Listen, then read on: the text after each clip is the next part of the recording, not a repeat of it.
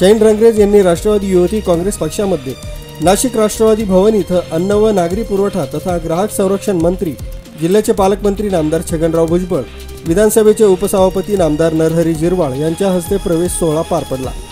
राष्ट्रवादी काँग्रेस पक्षामध्ये जास्तीत जास्त युवतींना पक्षामध्ये काम करण्याची संधी द्यावी अशी सूचना पवार साहेबांनी महाबळेश्वर इथं महाराष्ट्र प्रदेश राष्ट्रवादी युवक काँग्रेसच्या कॅडर कॅम्प कार्यक्रमामध्ये बोलून दाखवली होती.